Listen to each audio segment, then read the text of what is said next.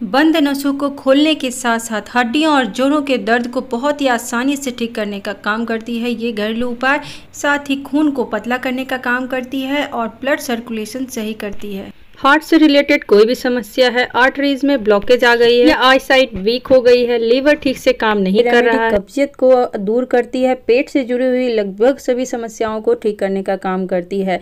यहाँ तक कि शरीर को डिटॉक्स करने का भी काम करती है शरीर से विषैले पदार्थ को निकालने का काम करती है। स्ट्रेस को कम करने का काम करती है।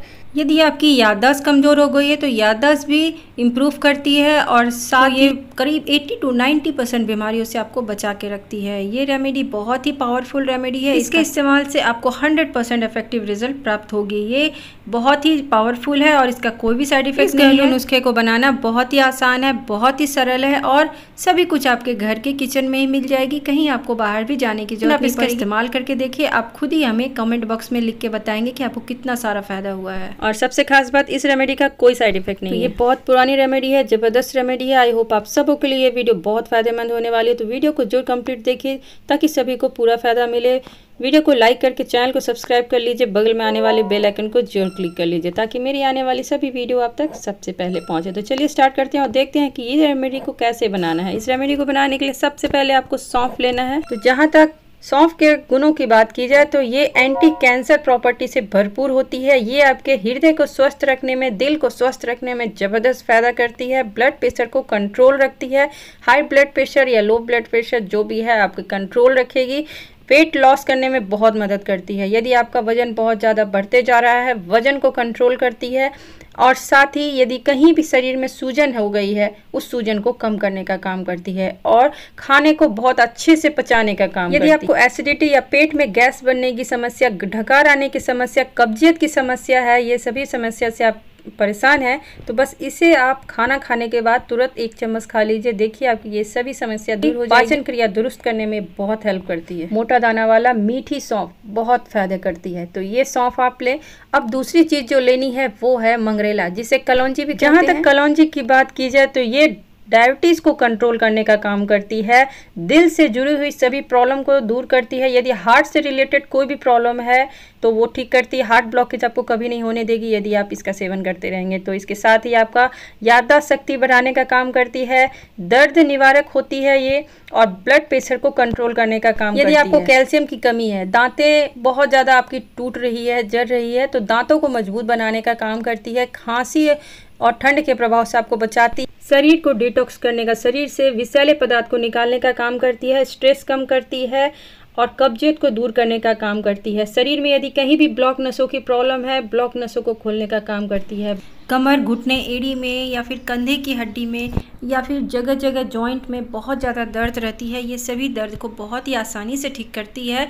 कुछ दिन आप इसे मेरे बताए हुए तरीके से खा के देखिए। ये बहुत ही ज़बरदस्त आपको काम करेगी, बहुत ही हंड्रेड परसेंट इफ़ेक्टिव रिज़ल्ट आपको देगी।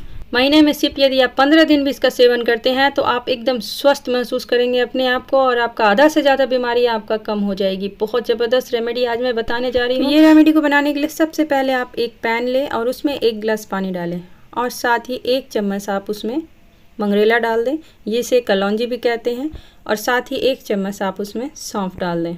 ये दोनों को ही आपको रात में ही भिगो के छोड़ देना है एक गिलास पानी में। तो इस तरह से देखिए एक गिलास पानी में मैंने इसे रात में ही भिगो के छोड़ दिया है और इसे रात भर आप इसे ढक करके रहने दीजिए और दूसरा दिन सुबह आपको इसका इस्तेमाल करना है। तो ये देखिए फ्रेंड ये दूसरा दिन पानी का कलर भी चेंज हो गया है मुझे इसे पकाना है। तो लो फ्लेम में आप इसे लो टू मीडियम फ्लेम में इसे अच्छे से पकाइएगा।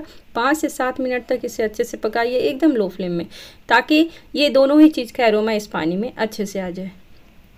तो ये देखिए फ्रेंड इसमें अच्छे से उबाल आने लग गई है इस पानी में और ये अच्छे से पक रही है।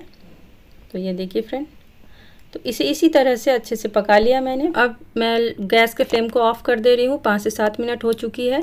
अब मैं इसे अच्छे से छान लेती हूँ। अब ये बहुत ही ज़बरदस्त रेमेडी बन के रेडी हुई है।